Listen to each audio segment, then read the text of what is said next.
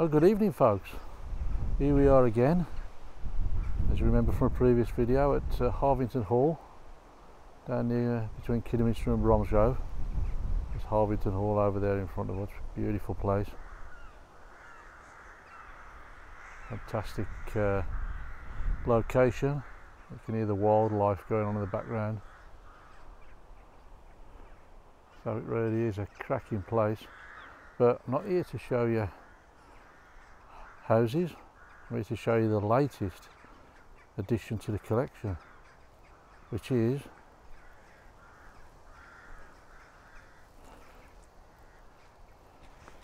the Royal Enfield Hunter 350 which is the replacement for my um,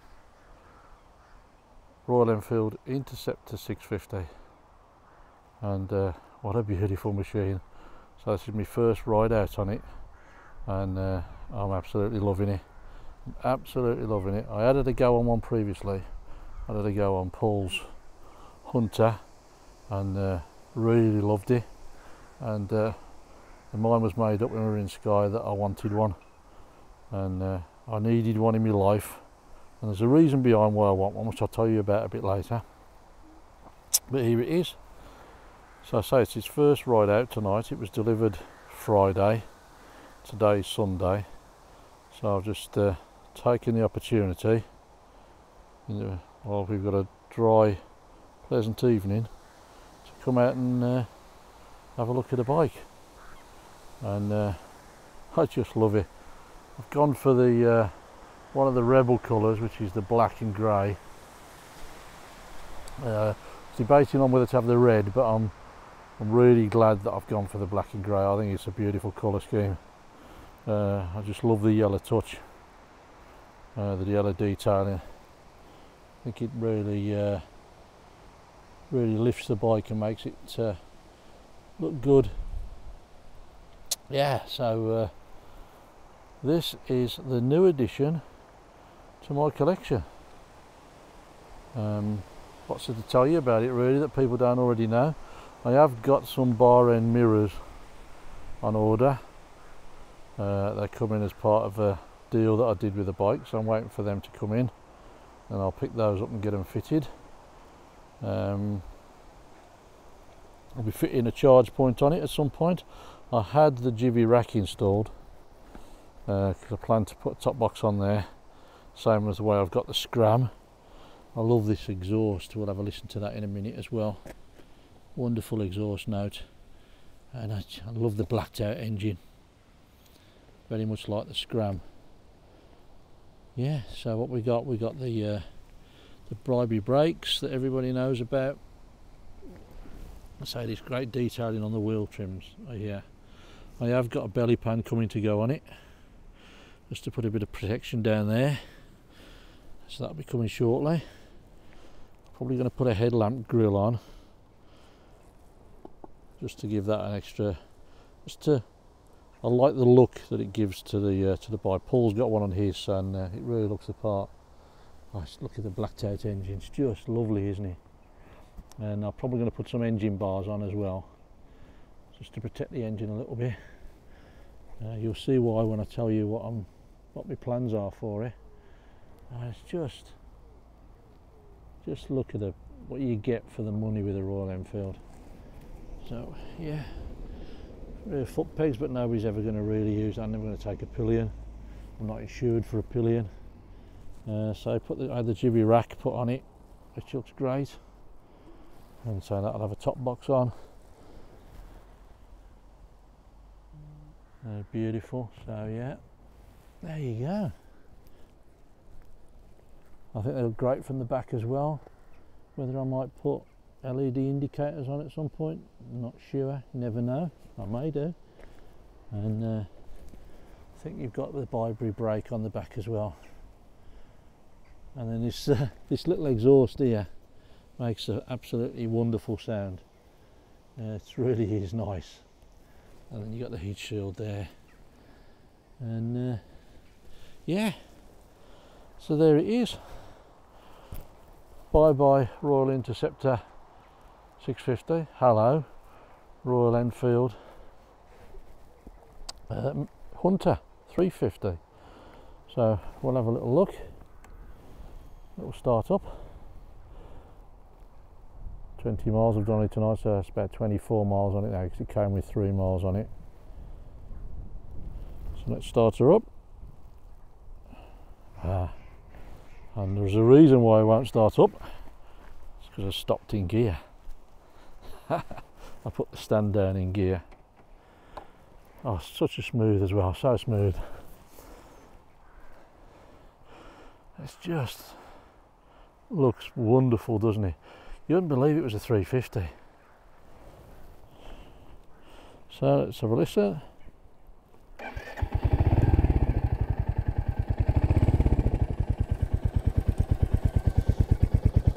The note that that exhaust is making just lovely. Just lovely.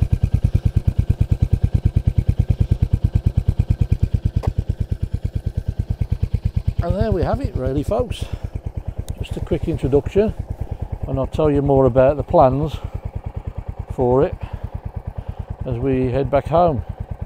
Because all I want to do is just ride the thing. So uh, there you go Royal Enfield Hunter 350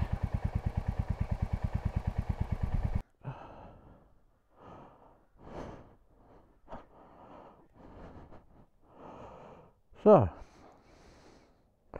let's head home.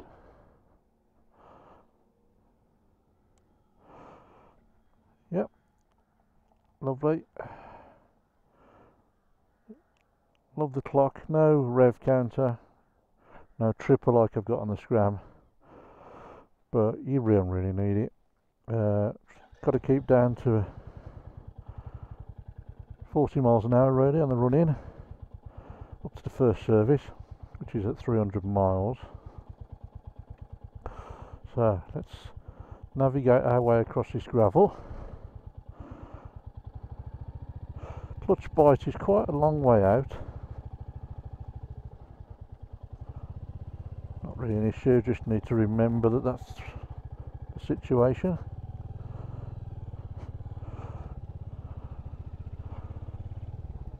The leaves are starting to fall now. Definitely moving into autumn. What's the time now? 5.43, quarter to six. Yeah, so let's uh, let's head out. I can tell you what's, what's going on. Right. So I bought the um, Speed Twin 1200 Triumph, and I put it side by side. I went and rode it, and I come back and I thought, you know although the Interceptor hasn't got the power they were, they were very similar in many other ways. And I thought two bikes very similar. You're not going to use that one because you're always going to jump on the, the speed twin and enjoy the power on that. And I would when we went to Scotland you won't have seen the videos yet but you will see them. When we went to Scotland Paul and I took uh, Paul took his Hunter and I took my scram. And so uh, we had a bit of a swap bike swap while we were up there and I had to go on Paul's uh, Hunter. He's fully run in so it's, uh, it's all loosened up and lovely. And uh, I just loved it. I just loved it and um, what I've been thinking of for some time is I want a, a bike that I can take to Wales because I spend every other weekend and whatever spare time I can in Wales. And I want a bike that I can take to Wales and pretty much leave there throughout the from the spring to the autumn. So from about Easter to around about now. Just leave it there. So whenever I'm there I've got the bike there. And I thought the perfect bike for that is either going to be the Scram or the Hunter. And uh, you know how much I love the Scram, you've seen the videos and I've told you how much I love the Scram. So, I've been looking for a reason to buy a Hunter. And um, I can't have any more bikes. She was, the wife just won't stand for it. She'll let me have the four that I have got and she'll let me change them but she won't let me have any additional ones. Is fair enough I suppose. Um, so what I thought I'd do the scra um, the interceptor I thought yeah let's let the interceptor go and replace it with a hunter. And then the, the plan was on Friday two days ago the plan was that the hunter will be the one that will stay in Wales all through the summer now having come out and ridden this I'm not quite sure that's going to be the case so did I say the Scram was going to get a Wales? Oh, the Hunter was going to get a get a Wales and stay there throughout the summer. Not too sure that's what's going to happen now. Um, it may well, it may be that I'll take uh, the Scram there and leave it for the summer and have the have the Hunter at home. So I've got more decisions to make now, or I could vary them perhaps and have a year where this is down there and a year when the Hunter's down there. And the plan for Wales is that I want to ride as many of the back lanes as I possibly can around North and Mid Wales and even dropping down hopefully some uh, into South you know Southern Wales down the coast Wales coast so that's my plan is to have a bike there every other weekend when I'm there and any days or holidays and bank holidays and everything which is usually where I always end up unless I'm on tour with the boyos is that I'll have the bike, I'll have a bike there, uh, and if the weather's good, uh, we get up early, we go and have a, a couple of hours, three or four hours exploration, come back and got the pub. now that's my plan, and uh, keep a set of gear down there, and, uh, no, and, and just do it that way. So that's what I've got planned and uh, it was it was a good cut and dry. It was going to be the hunter. The hunter's going down there. Get it running. Get it serviced. Get it running serviced. All be ready for the spring. Uh, and then take it down there and leave it there. Bring it back in the autumn. And uh, not so sure that that's what's going to happen now. May well be the scram that goes down there so we shall see um, but I, I, I love it I absolutely love it. And I, I did go on Paul's and I just, when we were up in uh, in Scotland, and it, it's just got a charm all of its own. I, I don't know how you describe it. I'll try my best to describe it. It just feels so nice to ride. It's like I'm being out with a with a good old friend. You know it's going to look after you. You know you're looking out for each other, and it's just a, a, a pleasant place to be. Uh, so I'm only running it in at the moment, so I've got to be really careful with. Uh, I don't want to stress the engine or anything. I want to be really gentle with it because doing the running in properly on the uh, on the Scram, I, that bike is now is just it's superb. You know, I, I, I put a DNA air filter in it, as you know, and it just runs like a dream. It's no slouch. I've had so much fun on it. Um, and this is going to be the same and you know, th this is the easiest bike for me in terms of height so i have got really short legs 28 uh, 29 inch legs and yeah, all my bikes are, are, too big for me in terms of flat footing them or anything like that but this one I can do that. So that's you know this is something else now something something new and novel for me. I've got a bike first bike since I was a teenager that I can flat foot. And uh, and it's just I, I just know it's going to be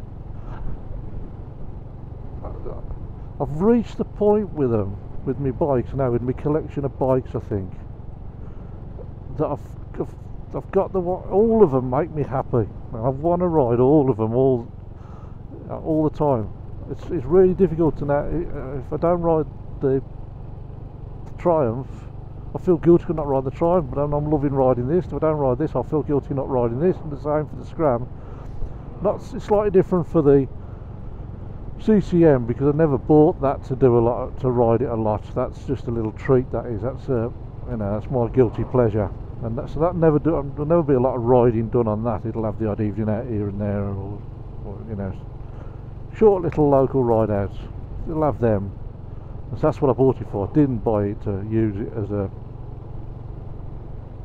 as a bike for the purposes that I use mine for. So, yeah.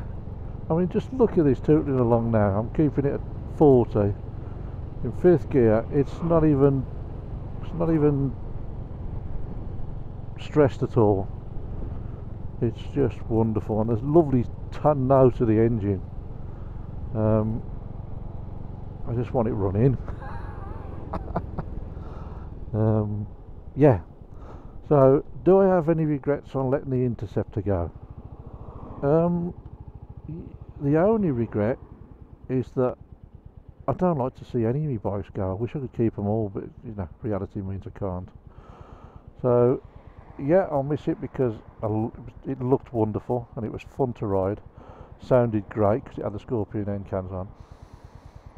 But will I miss it? Uh, no, not really. No, we had our fun, and, uh, now I have a new love in my life. Well, I have two. I've got this and the uh, and the Triumph. There are two bikes to try and run in now. Um, that's not going to be a problem. This will be pretty quick. Uh, our evening ride outs are uh, now coming to an end, so you, we won't be doing many more of them. So I'm going to get the miles on the evening. I've got the next two weekends at home, uh, weather permitting. I'll chuck. Uh, I'll get the hopefully uh, this one definitely up to uh, first service miles, and potentially have uh, have uh, Triumph up to first service miles as well. So yeah, there we go. So I'll be about my way to go home because I don't think uh, I want to labour this up the Hadley Mile, although I know it'll do it with ease. So I'm probably going to spin off in a second and just head off around the uh, sort of uh, back roads up to uh, through Stourbridge and then home. So there you go. Introduction to the uh, the new member of the uh, of the family. Um, I hope you're going to join me to have some fun on it when we start to get out proper because uh, I love having you along and uh, really appreciate those of you that take the time to watch the videos uh, comment and leave a like. Um, it's really nice of you to take some of your time to do that. And uh, appreciate appreciate the feedback and it's always great to hear different people's impressions of the uh, the bikes and stuff and their own experiences. They're always useful. So uh, you know please feel free to drop them in the comments below. And uh, yeah there you go hope you're going to uh, join me in welcoming the uh, Royal Enfield Hunter 350 into the family. Ah and if you've got any suggestions for names um, please drop those in the uh, in the comments box as well in the comment section. I am toying with a, a friend of mine uh, his name is Julian Hunter. So this bike may be being called Julian after him.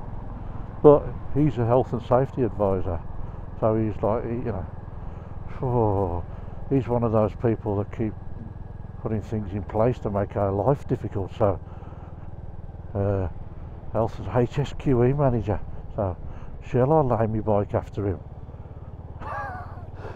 There you go. Hello Julian if you're watching. Um, so yeah thanks for watching. Hope you enjoyed it and I'll see you again soon for more adventures on uh, on whatever bike I'm out riding to try and get the running miles on. So I'll see you soon. Take care. Bye for now. Oh no no no. Yeah, we know the drill now. We're from Smethwick. It's ta-da to be see you later